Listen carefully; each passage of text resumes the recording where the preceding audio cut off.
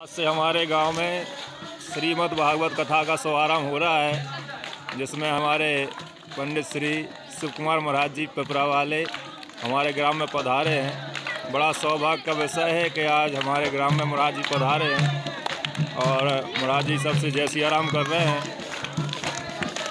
बहुत बहुत धन्यवाद।